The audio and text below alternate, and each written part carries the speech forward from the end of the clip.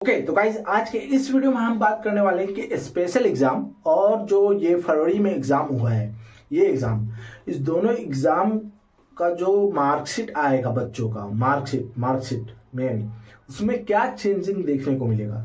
बहुत सारे बच्चों का कमेंट ये भी है कि क्या जो अप्रैल में एग्ज़ाम होगा उस एग्ज़ाम का मार्कशीट में कोई ऐसा आ, लेटर होगा या फिर ऐसा कोई सेंटेंस होगा जिससे ये साबित हो जाए कि भाई ये बच्चा जो है अप्रैल में एग्ज़ाम दिया है। तो गाइज़ हम यहाँ पे पहले आप लोगों का ये डाउट क्लियर करते हैं कि आप लोग कंपार्टमेंटल का एग्ज़ाम नहीं दे रहे हैं, ठीक है? आप लोग एनुअल एग्ज़ाम ही दीजिएगा।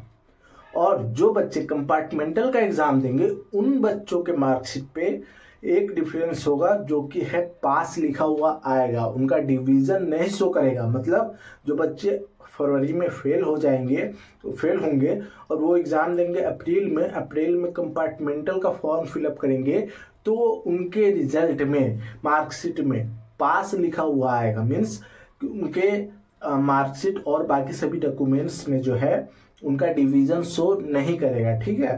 ये एक चेंजिंग होगा कंपार्टमेंटल वाले स्टूडेंट के साथ। और जो बच्चे स्पेशल एग्ज़ाम देंगे, जो वार्षिक परीक्षा देंगे, विशेष परीक्षा, उनके मार्कशीट में कोई डिफरेंस नहीं होगा। जैसा आता है रेगुलर बिहार बोर्ड का मार्कशीट वैसे ही आएगा।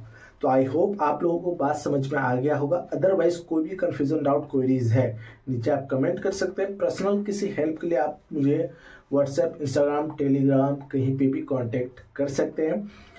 तो दोस्तों, मुझे उम्मीद है कि ये वीडियो आप सभी को पसंद आया हो। तो प्लीज़ वीडियो को लाइक कीजिए, अपने दोस्तों में शेयर कीजिए। चैनल पर पहली बार आया तो सब्सक्राइब कर लीजिए ताकि इसी तरीके के कंटेंट आप लोगों को मिलते रहे बस दोस्तों, आज के इस वीडियो में इतना ही। मिलते हैं आप सभी से नेक्स्ट वीडियो में।